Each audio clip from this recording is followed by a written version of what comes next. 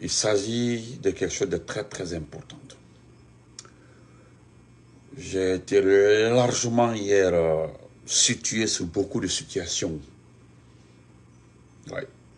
On m'a expliqué de long en large ce qui, ce qui a été préparé par Idi Amin.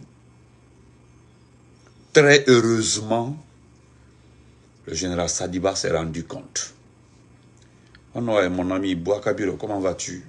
Oriba, comment salut Partagez s'il vous plaît. Nous remercions le Tout-Puissant nous remercions le Grand Mandin, nous remercions ces jeunes capitaines, ces jeunes officiers mandins qui ont rapidement compris le système qui a été mis sur place. Et Franck, merci pour lequel partager. Je, je, veux au moins 10 000 partages, s'il vous plaît. Nous sommes plus de 80 000 sur cette page. Donc, il doit y avoir au moins 500, 600 partages, s'il vous plaît. Parce que l'air est très grave très très grave. Mon grand frère Oumar Sidibé, comment vas-tu? Crespo, bonjour.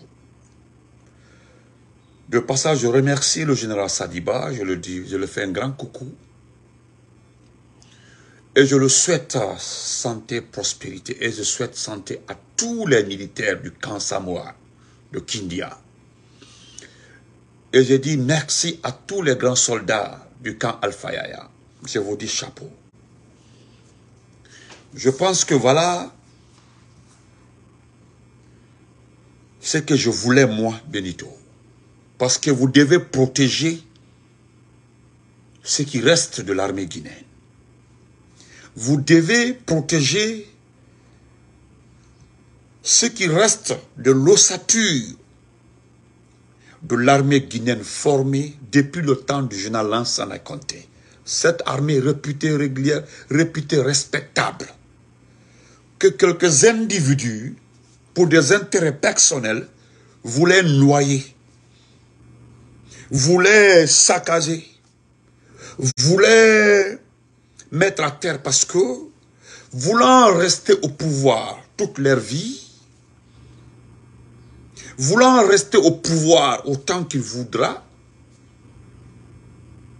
vraiment je vous dis merci. Moi ce matin je vous tire le chapeau par rapport aux informations que j'ai reçues du camp Samouraï et du camp Al-Fayad. Que Dieu vous bénisse. L'armée guinéenne on ne dit pas l'armée de Dumbuya, l'armée de Idi Amin ou l'armée de tel. On dit l'armée guinéenne, dit, c'est l'armée guinéenne, Guinée. Donc, il y a un, seul individu qui a voulu faire de cette armée, de son voulu qu'on appelle Idi Amin à 75 ans ou 60 combien Parce qu'il a dépassé les 70 ans. Merci beaucoup, mon beau Alibari. Il a dépassé les 70 ans. Aujourd'hui, il a ramassé des milliards, certes, oui. Il a ramassé des milliards, oui, c'est vrai. À son âge, l'argent là, c'est pour entretenir les femmes des gens, c'est pour entretenir ses enfants. Aucun enfant de Idi Amin n'est dans l'administration guinéenne, actuellement là.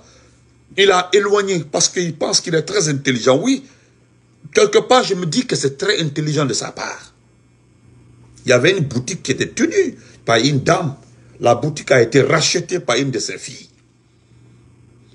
Parce que lui, il préfère que ses enfants investissent en France, évoluent en France, ils travaillent en France, qu'ils oublient totalement l'administration pour ne pas être mêlés. C'est-à-dire, il fait, il fait de Alpha Condé d'un côté, c'est-à-dire Alpha Condé qui a éloigné son garçon de toute la gestion guinéenne pour ne pas que son enfant soit poursuivi, humilié parce que lui, il est âgé, il est vieux, il peut mourir à tout moment, mais son enfant doit faire sa vie. Quand vous laissez vos enfants se mêler de la gestion de l'État, cela va le rattraper un jour. Toi, tu, tu ne pourras plus quelque chose pour ton enfant, le protéger et le sortir de cette situation. Donc, vaut mieux leur donner ce qu'il a à, recevoir et puis l'éloigner. C'est ce qu'Idi Amin fait.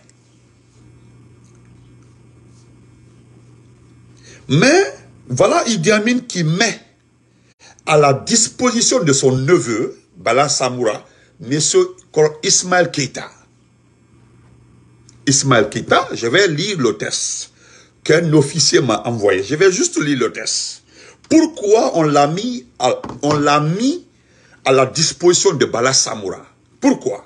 Parce que les Alia, les Bangura, les Koivogi et autres, qui étaient des forces spéciales, ceux qui ont réellement pris le professeur Alpha Condé au palais, au palais ont été mis de la même façon à la disposition de la justice militaire, Bala Samoura, qui s'en est occupé, qui les a malmenés. L'erreur de notre frère Alia, c'est d'avoir dit à Bala Samoura, lorsqu'on la demande d'enlever sa, montre, d'enlever tout ce qui était, et il avait une attache aussi à la hanche, d'enlever ça. Il a compris qu'il était en voie d'arrestation parce qu'on l'avait séparé avec la petite unité qui le gardait lorsqu'il entra ce Bala Samoura. Donc, il a dit, Ntanan Alpha Condé Soro. C'est à cause de là, quand le Manamanamon, le vaurien forestier là, mon cousin là, disait que c'est lui qui a mis main sur Alpha Condé, pour discréditer, parce que les gens parlaient beaucoup d'Alia en ce temps. Mais Ali a été très clair, ça s'est passé devant, certains gendarmes. C'est moi qui ai pris Alpha Condé et je le remettrai à sa place. Non, ça m'en est à place. Et puis on est quitte. Parce qu'au fait, ce qui a été promis à Alia, c'est de s'occuper de la justice militaire parce que c'est un académicien. Alia, est, merci mon grand frère, vraiment, bonne fête à toi, ce grand frère. C'est un académicien. Donc, il voulait occuper la... Parce que Alia, au fait, au départ, c'était un gendarme. Alia, là, allez-y vous renseigner. Au départ, c'était un gendarme. Donc, il voulait, ce qui a été promis à Alia, c'est s'occuper de la justice militaire. Oui, il voulait s'occuper de la justice militaire. Il devait être le patron de du haut commandement de la gendarmerie. C'était ce, ce qui a été dit au départ. Est-ce que vous comprenez? Donc, c'est ça le problème. Donc, le, Ismaël, le, directeur de l'enseignement militaire de l'armée, a été mis à la disposition de... Il a été limogé d'abord et mis à la disposition de, de Bala. Aujourd'hui, selon les dernières informations, celui qui a été mis à la disposition de la gendarmerie militaire, à la justice militaire, se trouve déjà au camp Boiro de, de Kassa. C'est hier il a été limogé, hmm? c'est hier il a été limogé, et directement il se retrouve, jusque-là il n'a pas été jugé, rien, il n'y a, a aucune instruction, rien, le monsieur se retrouve directement au camp Boiro de Kassa en moins de 24 heures. Parce que seulement, le monsieur n'a pas donné les informations concernant les agissements de, de, du général, euh, général Sadiba Koulibaly. Vous savez, la justice, euh, le renseignement militaire se trouve avec le général Sadiba Koulibaly. Parce que ça fait de cela deux ou trois mois que ce général, cet officier supérieur issu de l'armée guinéenne, avait déjà compris que la transition est sur la mauvaise voie. Parce que selon ce qu'on m'a dit, Général Sadiba n'est pas d'accord pour que la transition perdure. Général Sadiba n'est pas d'accord pour que la transition reste pendant cinq, au-delà de 2026. C'est ça la vérité. Il n'est pas d'accord. Il l'a dit, il a fait savoir qu'il n'est pas d'accord parce que lui, il sait. Et c'est ce que aussi Paul Kagame a dit à Doumbouya, plus la transition perdure, même s'il n'est pas crédible, il n'est pas un homme honnête, plus les problèmes adviennent. Donc voilà le mal, voilà le problème de Sadiba. Ce n'est pas entre Doumbouya et Sadiba. Est-ce que C'est entre Doumbouya et, entre, entre Sadiba et Idi Amin. Parce que Idi Amin a un seul objectif les promesses non tenues de Dumbuya pour une première phase, c'est-à-dire le, laisser diriger la transition parce que selon lui, il est allé à l'école, c'est lui qui connaît l'armée guinéenne, il sait très bien avec Doumbouya, si Doumbouya laisse diriger la transition, ils vont dire au pouvoir, il a toutes ses méthodes pour qu'il dise au pouvoir. Comme Doumbouya était un homme averti, d'abord c'est lui qui est parti de la à l'aéroport lorsqu'il revenait du Cuba où il était ambassadeur nommé par je dis bien nommé par le professeur Fakot comme ambassadeur. Parce qu'il était devenu embêtant. Voilà. Il était devenu embêtant, il était devenu vraiment gourmand. Parce qu'il voulait le poste de ministère de la Défense, il n'est pas militaire. Donc l'armée n'était pas d'accord. En le nommant Alpha Condé, en le nommant ministre de la Défense, allait lui créer assez de problèmes parce que c'est, au fait, c'est pas un militaire. Alpha Condé, dans la continuité, voulait confier le poste de ministère de la Défense à des, à, des civils, c'est-à-dire des avocats, des juristes, des intellectuels, pas un militaire. Ça envoie la jalousie, ça envoie des, des querelles intestines à l'intérieur. Alpha Condé a préféré se baser sur les civils. Voilà, d'abord, c'était Kabele, Kabele, Kabele, Kabele. C'est comme ça. Vous comprenez? Donc, il était devenu gourmand, trop impétent. Il y avait les murmures aussi de coups d'État depuis 2015, entre 2015 et 2016. Donc Alpha Condé a attendu après l'élection de 2015 pour voir cette situation. Et pourtant, le plus grand escroc en ce temps-là, c'est lui qui fait, s'est fait croire il est le chef des renseignements. C'est faux. Traoré. C'est lui qui menta jusqu'à on a mité les, de Bunduka. Bunduka a été mité en Allemagne. Et chose a été mité à, lui, Idi Amin, au Kiba. Il y avait un qui a été envoyé en Guinée-Bissau. Ils étaient six personnes qui étaient devenues vraiment trop encombrants. Donc, euh, parce que, au fait, le prisonnier personnel de Idi Amin, c'est. Dr. Diané est le prisonnier personnel de Idi Amin. Ce que vous ne savez pas. Le prisonnier personnel de, de Idi Amin, c'est Dr. Diané. C'était son directeur de cabinet. Vous comprenez? Aujourd'hui, l'intendant là, depuis tant de Dr. Diané, c'est le même intendant qui travaille avec Idi Amin sur les surfacturations, sur les dépenses militaires, sur euh, euh, la caisse noire de l'armée, tout ça là, au temps du docteur Diané, le gars ne pouvait pas mettre main dessus. À cause ça, il voulait être ministre de la Défense. Aujourd'hui, il s'est retrouvé, il ne s'attendait pas à une opposition parce qu'il étalait son plan, Idi Amin. Il étalait son plan petit à petit, comme eh, quand il est arrivé, Doumbia a dit, bon, tu me laisses diriger, mais je te, je te confie la défense, c'est-à-dire tu le numéro 2 presque. Or que tout le monde connaît le numéro 2 de la, de c'est Jonas Sadiba. Mais petit à petit, on, met, on lance des douces, parce que lui, il appartient à l'armée régulière. Le seul autour des trois personnes, le seul qui appartient à l'armée régulière, celui qui a franchi tous les échelons, c'est lui, Jonas Sadiba. Donc, regardez aujourd'hui, tous les camps, tous les petits officiers, la capitaine sont derrière lui plus de 500 personnes lourdement armées, plus de 100 officiers supérieurs sont derrière lui parce qu'il appartient à l'armée régulière. Il a été trahi par Namori. Tout le monde le sait. Donc, il faut comment l'éliminer? C'est à cause de ça, quand eh, est parti prier, c'est-à-dire, il cherchait la popularité, il cherchait une vision pour discréditer Erasmus dans ça n'a pas marché à l'abbé. Nous avons su communiquer pour montrer que l'abbé a tout le temps fêté comme ça. Rapidement, on dit non, il y a que... Euh, pour pouvoir prendre les gens, parce que c'était l'occasion pour Idi Amin de mettre main sur... Idi Amin de mettre main sur Sadiba. Parce que il n'a pas de preuves à prouver, à donner à Doumbouya pour pouvoir mettre main sur Sadiba.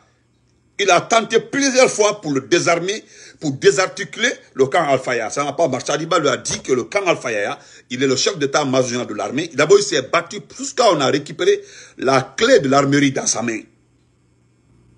Est-ce que vous comprenez? Donc, il, lui, il est dans son plan. Comme il n'a pas été chef de la junte, Doumbouya n'a pas accepté, mais il s'est dit, bon, je vais aller étape par étape. À un moment, je peux le prendre lui-même. Partager la vidéo a été signalée. Partagez, mettez les cœurs, la vidéo a été signalée. Donc, je peux mettre main sur lui. C'est lui qui a nommé le chef de renseignement, Ismaël Keita. C'est lui. comment on c'est lui qui l'a nommé, Ismaël Keita. C'est lui qui l'a nommé. C'est lui qui a envoyé Sangari au camp Baro de, de Kassa. Celui qui a envoyé son gars à la poudrière. C'est celui qui a nommé presque tous les pions là. Mais ce qui concerne l'ossature du camp Alfaya, c'est resté, c'est resté dans la main de, de Sadiba. Donc, comment faire prendre Sadiba?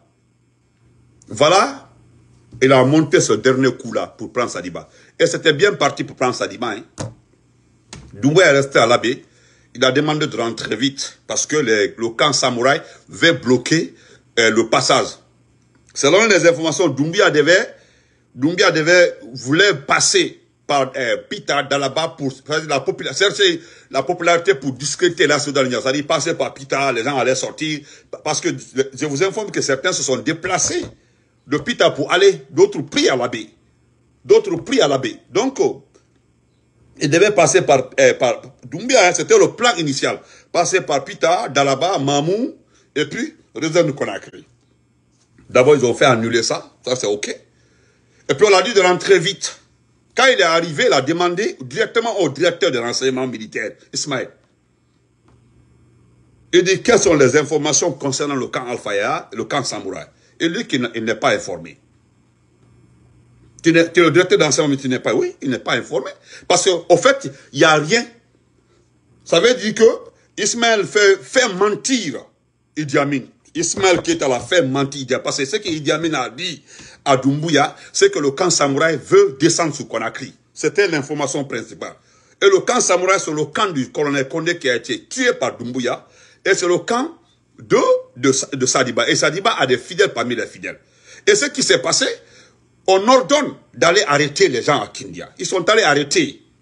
Les gens étaient dans leur sommet, d'autres étaient dans leur famille. On les a arrêtés, les officiers, plus de 45 comme ça. On les a arrêtés. Et voilà, dans ce groupe-là, je trouve beaucoup, beaucoup de fidèles parmi les fidèles de, Sadiba. Sadiba appelle Idi Amin pour demander des explications. Parce que c'est lui le chef d'état-major de l'armée. S'il doit avoir des arrestations dans l'armée, il a besoin d'explications. Normalement, lui, Sadiba doit être informé. Mais le ministre de la Défense le saute pour aller prendre les gens à Kindia, dans son propre, dans, son unité. Dans son unité, parce que c'est son unité, c'est son camp. Vous comprenez? Est-ce que vous pouvez accepter ça? Automatiquement, Sadiba, lui, il a compris. Ce n'est pas le camp samouraï qui est visé. C'est lui qui est visé. C'est lui qui est automatiquement visé. Il le sait. C'est lui qui est visé. Voilà tout le problème d'Ismaël.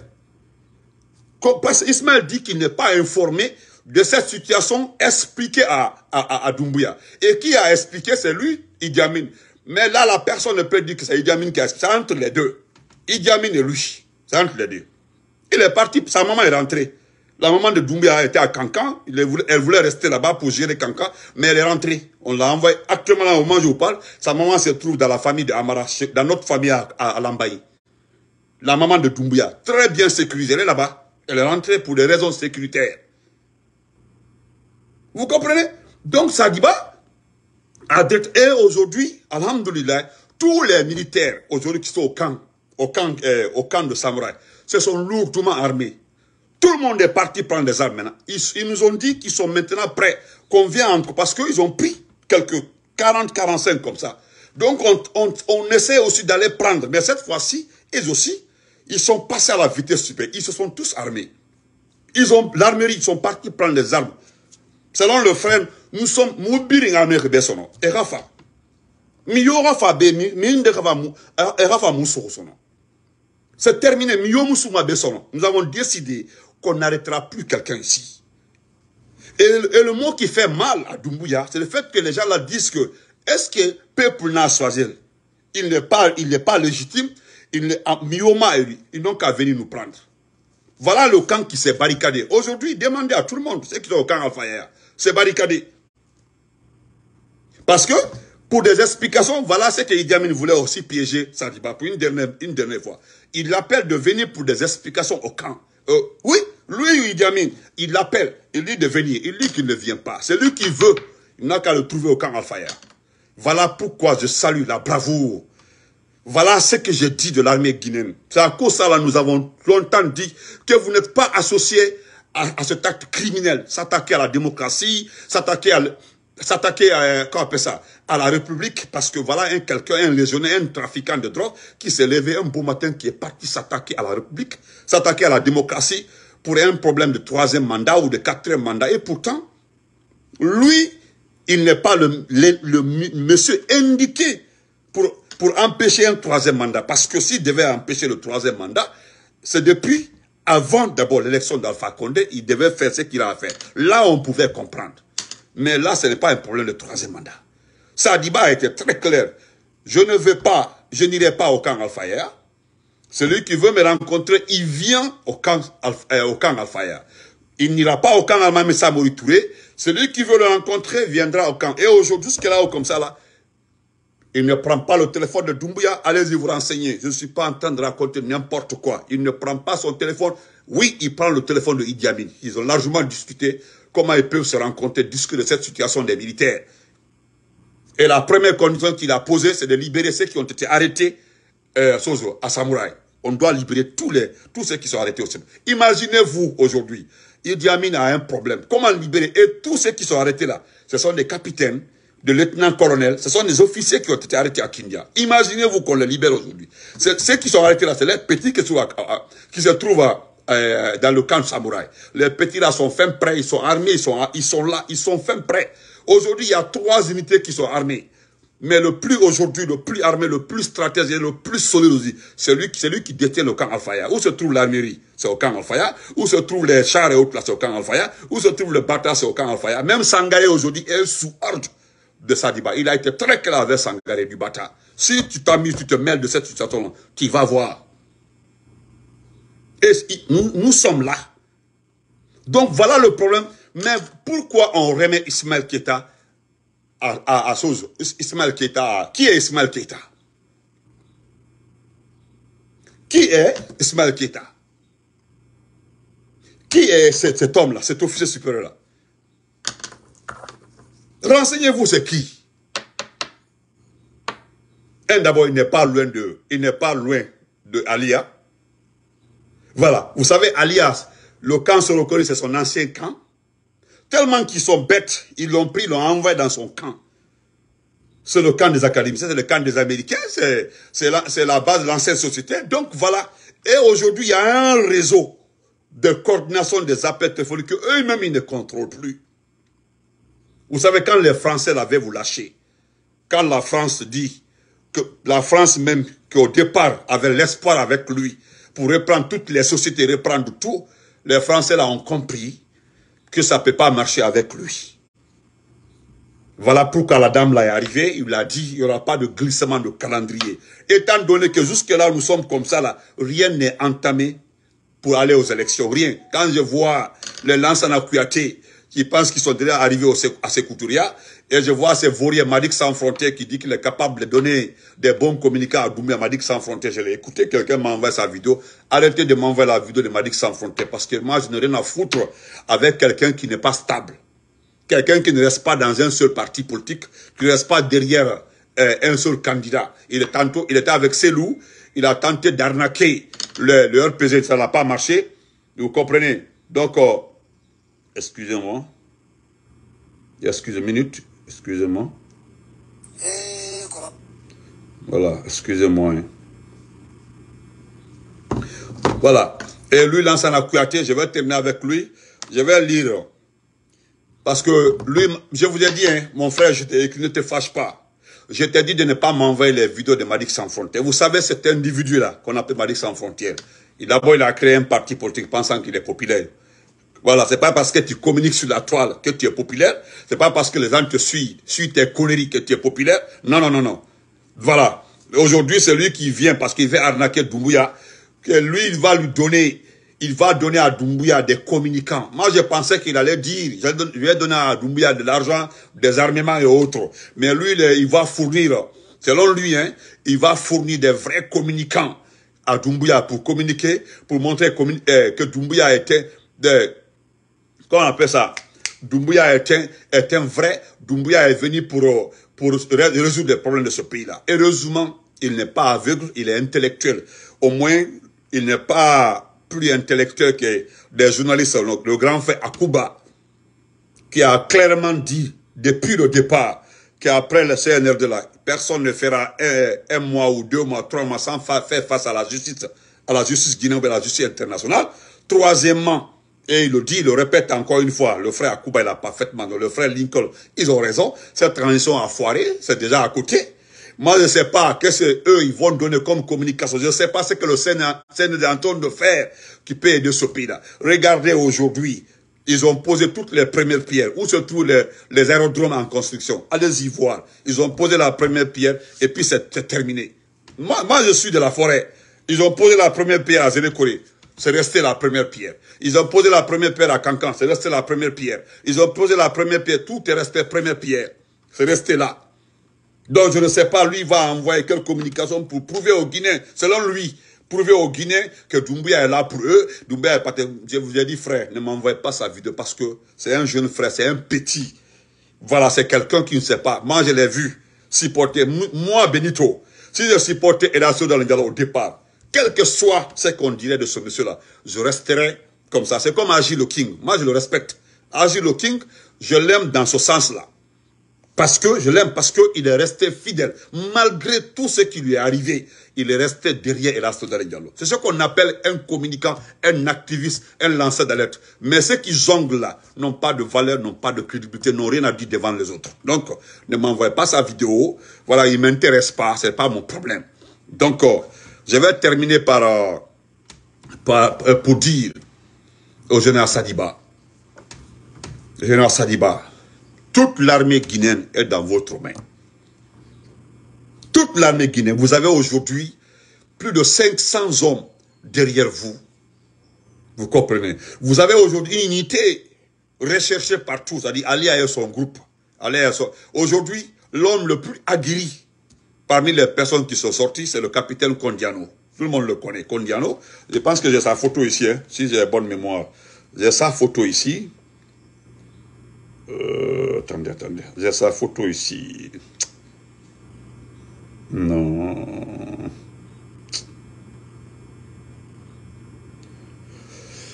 Non, c'est quelque part. J'ai sa photo quelque part.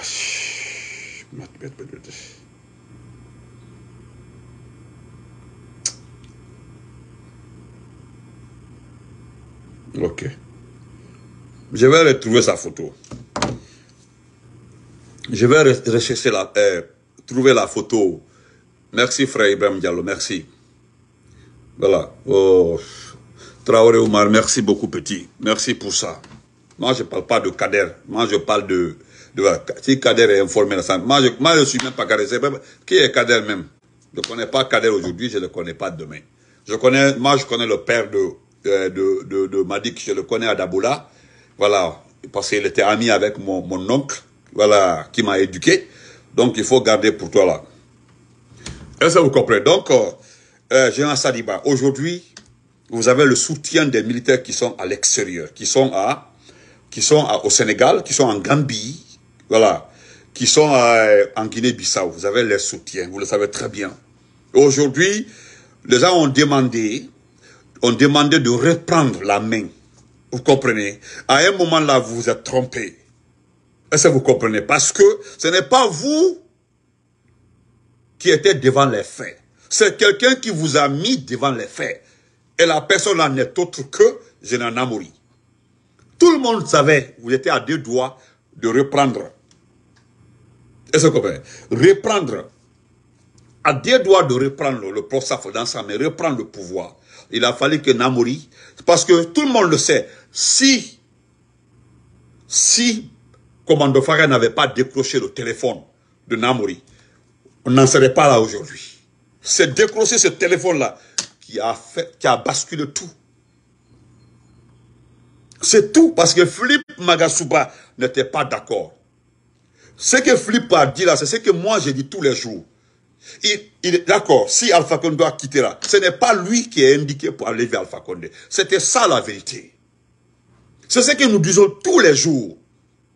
Voilà, tous les jours. Ce n'était pas lui.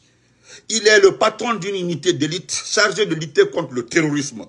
Il n'est pas de l'armée régulière. Il n'est pas de l'hierarchie militaire. Donc, il n'était pas indiqué. Voilà ce que Philippe disait le 5 septembre. À qui veut l'entendre? Donc, il n'est pas d'accord. Si Alpha Condé doit mourir, il n'a qu'à mourir. Mais lui, il ne va pas rester. Et voilà, tout le monde était arrivé au niveau du pont, les gens m'ont jardin des octobre. Voilà un individu qui est rentré par la petite porte dans la diplomatie, qui n'est pas un diplomate, qu'on appelle euh, Namori, qui appelle, et voilà, sauce décroche le téléphone. Et puis, au lieu de lui parler en français, pour le tromper, lui parle en malinqué. Oui, il lui parle en malinqué. Alpha Condé à boulot, il va tuer le vieux. Oui. C'est à cause de moi, je remercie le papa de Commande Farah, qui ne lui parle pas, Comment est-ce qu'on peut t'appeler pour dire Alpha Condé Abolo, Naima que Dafa Nous sommes en guerre. Quand quelqu'un prend le président pendant un coup d'État, c'est un état de guerre. Si le président meurt, oui. Il meurt, il meurt en héros. Ou bien il meurt en détention, ou il meurt, oui. C'est ça aussi. Mais bon, aujourd'hui, comment on Tellement qu'il Amin est stratège, Parce que Idi n'a pas vu venir Sadiba. Il n'a pas pu, il n'a pas pu venir, il n'a pas, il n'a pas su, il n'a pas su que Sadiba allait être comme ça. Il n'a pas, il n'a pas vu Sadiba venir comme ça. Il avait peur de deux personnes, c'est tout. Il avait peur de Commando Forêt, il avait peur de Philippe Magasuba. C'est voilà les deux personnes qui faisaient extrêmement peur à ce monsieur-là. Et aujourd'hui, il faut envoyer euh, Commando Forêt à l'inspection générale de l'armée, inspecteur général de l'armée, donc le désarmé, le détaché du bâtard, donc il n'est plus. Commando Forêt est devenu aujourd'hui un militaire, un simple militaire. Il n'est pas armé, il n'est pas fort. C'est son nom, Commando Forêt, avant. C'est tout. Aujourd'hui, c'est Sangaré. Et Sangaré aussi à l'antidote qui est dans la main de qui? Dans la main de Saliba. C'est tout, hein, parce que son unité est logée dans le camp Al-Fayr. Le bataille est dans le camp Al-Fayr. Et le camp Al-Fayr aujourd'hui est barricadé. Donc, mon frère, qui, peut aller aujourd'hui prendre Saliba Personne. Il faut qu'il y ait des interventions de diplomates, il faut qu'il y ait des disques de débat.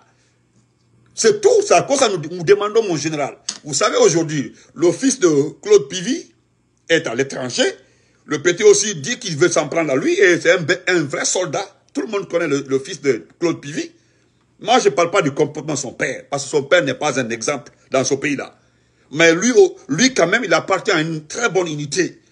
Voilà des enfants qu'on veut éliminer, qui sont des bons soldats. Comme ils ont gaspillé la vie de Alia. Voilà, voilà Bangoura aujourd'hui qui est devenu neutre. Voilà Koivogi. Tout ceci doit devenir aujourd'hui des militaires inutiles. Oui, j'ai dit inutile parce que voilà des vrais soldats qui ont été formés par l'argent du contribuable guinéen. Aujourd'hui, un, vieux de 75 ans veut mettre tout ça dans la poubelle, dans l'histoire de la poubelle, qui s'appelle Idi Amin. C'est tout.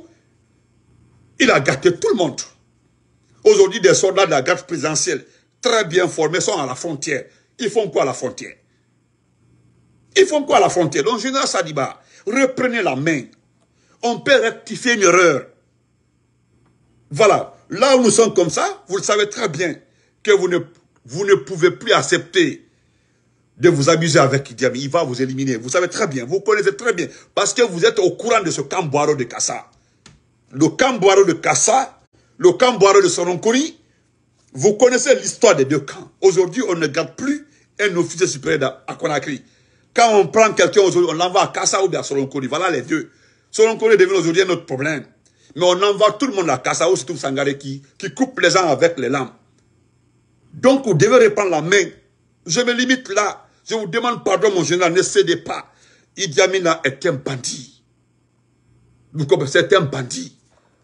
Vous comprenez? C'est un bandit. Excusez-moi. Merci frère Bachiba, merci. C'est un bandit. Reprenez la main. Discutez de son départ. Moi, je ne parle pas de 28 jours. Eh, le chrono est à 28 jours. Vous savez très bien, ce qu'ils vous ont dit là ne peut pas marcher. Voilà, ce, ce qu'ils vous ont dit là ne peut pas marcher. Vous savez très bien, ça ne peut pas marcher. Vous le savez très bien. Ils vous ont demandé. Voilà, voilà, la transition doit, la transition ne doit pas durer. Il ne doit pas avoir de transition, il ne doit pas de transition. Selon eux aussi, vous avez communiqué avec le procès. Ça, c'est selon Idi Amin ce qu'il a dit à Doubouya, que vous avez communiqué avec le professeur Alpha Où est, où est son problème? Je l'ai bloqué, Ayuba, je l'ai bloqué. Où est son problème? Merci frère Ahmed Kouba, merci beaucoup. Où est son problème? Où est son problème? Selon lui, Sadiba, eh, eh, eh, eh vous avez communiqué avec le professeur Alpha Ça veut dire quoi? Cela veut dire quoi? Vous êtes de l'armée régulière. voilà aujourd'hui, hein, il est venu démanteler l'armée. Tous les officiers, tous les bons militaires sont mis à l'intérieur. Lui, il est flanqué dans son bureau. Regardez, il est flanqué, il, est inutile. Regardez un vieux clochard, regardez son visage, regardez sa sale bouche. Bah, il n'a pas honte de coucher avec les femmes des gens. Il n'a pas honte. Regardez la femme de Pitala, qui est, qui est à sa merci. Oui, qui est à sa troisième... Euh, non, la troisième, à sa troisième fois de divorcer. Maintenant, aujourd'hui, son mari à son mari à l'étranger, je ne sais pas si c'est en Allemagne ou pas.